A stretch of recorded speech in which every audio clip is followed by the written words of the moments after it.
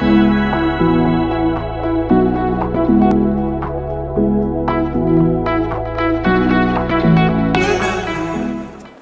friends welcome back to my channel అందరూ ఎలా ఉన్నారు? నేను చాలా బాగున్నాను.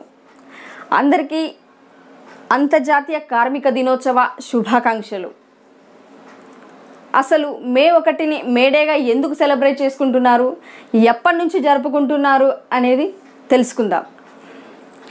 పంతొమ్మిదవ శతాబ్దానికి ముందు రోజుల్లో కార్మికులు రోజుకు పద్నాలుగు నుండి పదహారు గంటల వరకు ఫ్యాక్టరీలో పనిచేసేవాళ్ళు. తొమ్మిది సంవత్సరాలు నుండిన పిల్లల్ని కూడా బాల కార్మికులుగా చేసి వారితో పని చేయించుకునేవారు. కార్మికులకు కనీస అవసరాలు కూడా కల్పించకుండా వారిని శ్రమదోపిడికి గురి చేసి వారిని ఎన్నో ఇబ్బందులు పెట్టేవారు.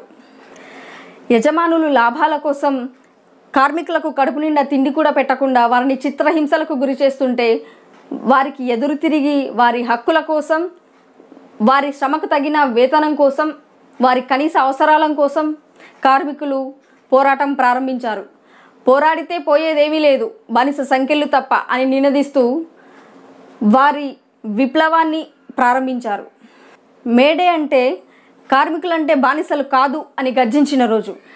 పెట్టుబడిదారీ వ్యవస్థ నుండి బానిస సంఖ్యలు వీడిన రోజు. యాజమాన్య వ్యవస్థకు ఎదురు తిరిగి వారి ప్రాణాలను పణంగా పెట్టి రక్తంతో అరుణ పతాకమై వెలిసిన రోజు. పద్దెనిమిది వందల ఎనభై ఆరు మే ఒకటిన అమెరికాలోని చికాగో నగరంలో కార్మికులంతా కలిసి సమ్మె చేపట్టారు. పది గంటల పనితీరుపై ఈ సమ్మె జరిగింది. మే మూడున శాంతియుత సమ్మె చేశారు. ఈ సమ్మెలో పాల్గొన్న కార్మిక జన సమూహంపై పోలీసులు కాల్పులు జరిపారు. ఈ కాల్పుల్లో ఆరు మంది కార్మికులు మృతి చెందారు. ఈ ఘోరమైన హత్యాకాండకు నిరసనగా మే నాలుగున చికాగో నగరంలోని హే మార్కెట్లో కార్మికులంతా పెద్ద ఎత్తున ఆందోళన చేపట్టారు. ఈ సభలో యజమానుల కిరాయి మూకలు బాంబు దాడి చేశాయి. ఈ దాడి కార్మికులే చేశారని పోలీసులు కార్మికులపై విరుచుకుపడ్డారు. ఈ హింసాకాండకు కార్మికులే కారణమని పోలీసులు ఏడు మంది కార్మిక నేతలను అరెస్ట్ చేశారు.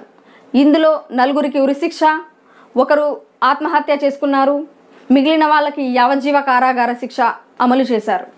ఇదంతా జరిగిన తర్వాతే అన్ని దేశాల్లో కార్మిక పోరాటం మరింత విస్తృతంగా కొనసాగింది. భారతదేశంలో చికాగో కంటే ముందే కలకత్తాలో పద్దెనిమిది వందల అరవై రెండులో రైల్వే కార్మికులు పని గంటల కోసం సమ్మె చేశారు. అంతకుముందు వీళ్ళు పది గంటల పని చేసేవారు. పాలకవర్గం ఎన్ని గంటలైతే పని చేస్తుందో మేము కూడా అన్ని గంటలే పని చేస్తామని డిమాండ్ చేస్తూ సమ్మె కొనసాగించారు. కానీ ఇది అంత ప్రాచుర్యంలోకి రాలేదు. ఈ ఉద్యమం అంత విస్తృతంగా కొనసాగలేదు.